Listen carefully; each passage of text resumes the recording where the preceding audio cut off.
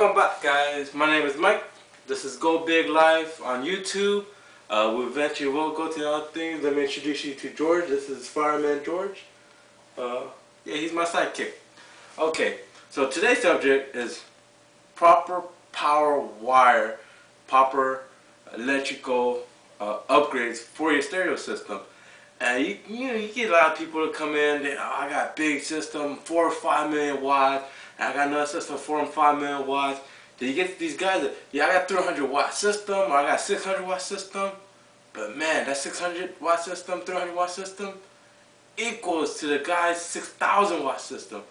And one of the main reasons is proper power.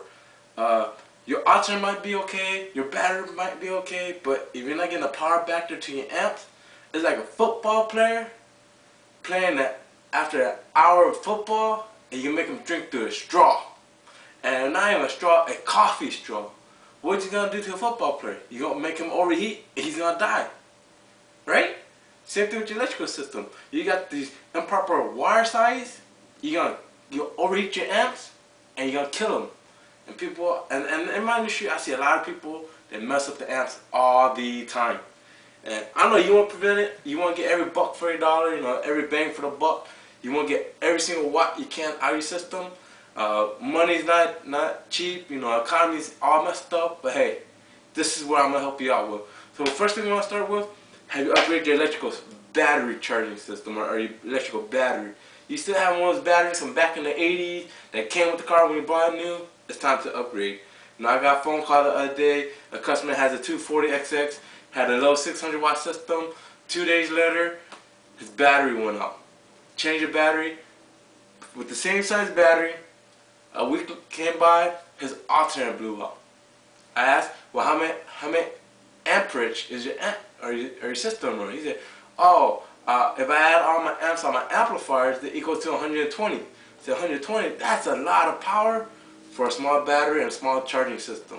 So what you need is a deep cell battery, uh, my favorite is Optima. I try XS Power and everything else. And those are great batteries, but the price is not for the everyday consumer, you know. For the everyday guy, they can't afford those type of batteries and those type of charging and, a custom mount. You buy Optima, you buy them all the time. Get a Sam's Club membership, they're only 130 bucks. You save about 50 bucks over Walmart and everybody else. So there you go, you know. Buy right, you get great warranty. First thing you need, you got the front battery, you gotta get power to the back. What kind of amp kit you using? Are you need some cheap amp kit or are you gonna need some brand name stuff? Here I've got street wire amp kits. Now this is the 8 gauge. This is the ZN1 line. This is the 2010 model. This is their low, their the entry level system, right? So you see this ZN1 kit, 8 gauge. Is a good wire, power, ground, remote, fuse holder, right? Real simple. It takes an AFS fuse.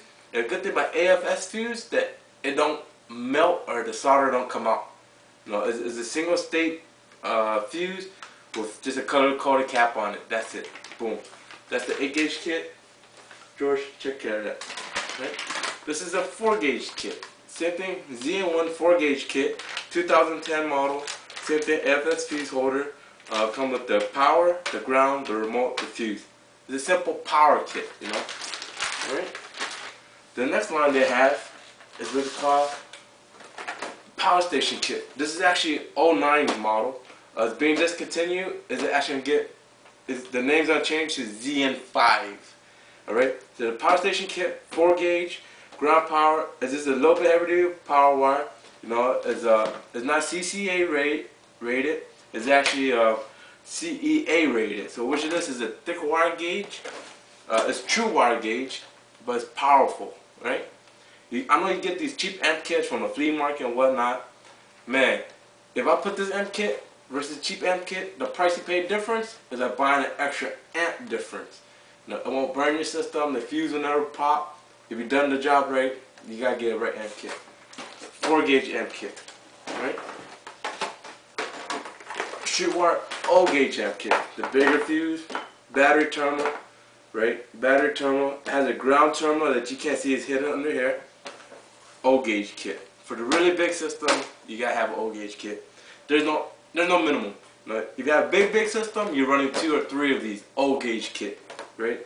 Let's say Streetwire, the company does one thing, one thing only. They make wire, power wire, and RCA's for your car system.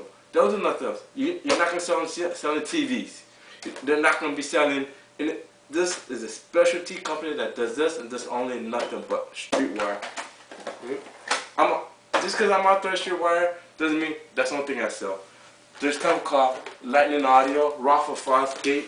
Right? I sell this stuff too. Kicker wire. Remember, when you go with brand name stuff, it's always a good brand. You can never go wrong with Ferrari, Lamborghini, Maserati, right? Those are high-end brands. You can't go wrong with some Toyota, some Ford, some Chevy, some whatnot. Because they make good and bad. Brand name stuff, they make good high-end equipment, right? There's Monster Cable out there. There's Street Wires. There's Stinger. You know, I'm a big fan of the Stinger cap capacitors, right? So now we got all the power on the side.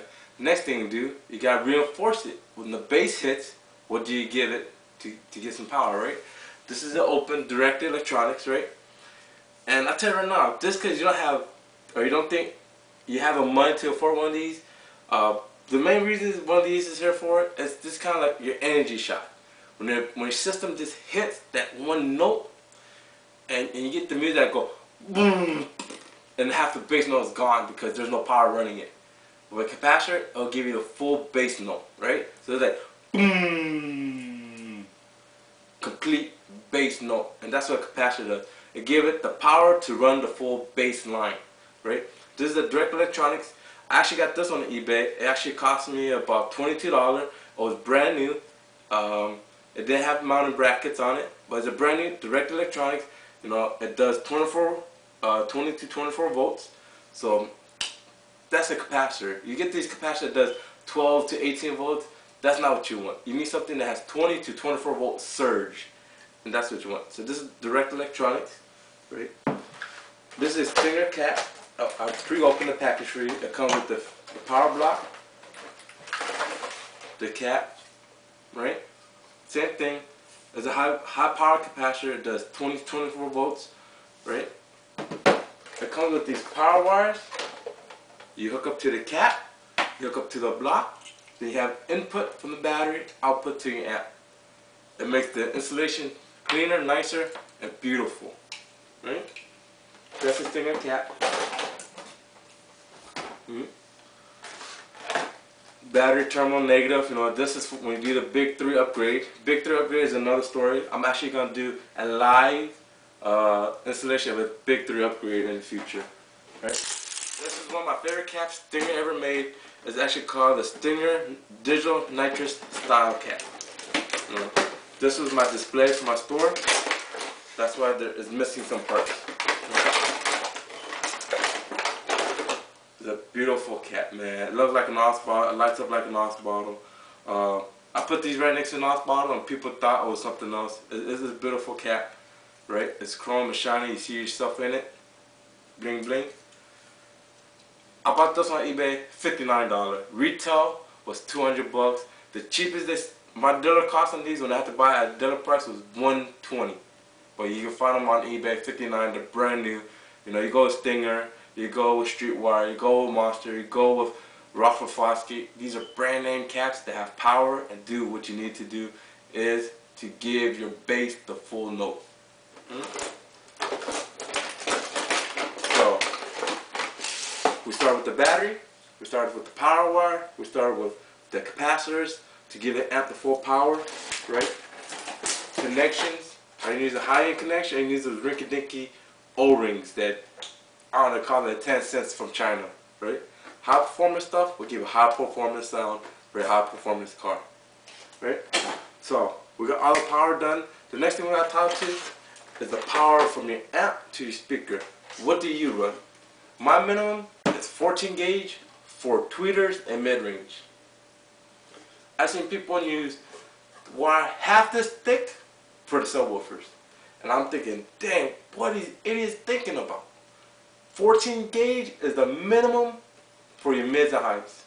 Anything smaller, I, you just got issues, you know. You, unless your amp is, is inside your door panel, and you can use maybe 16 gauge or 18 gauge.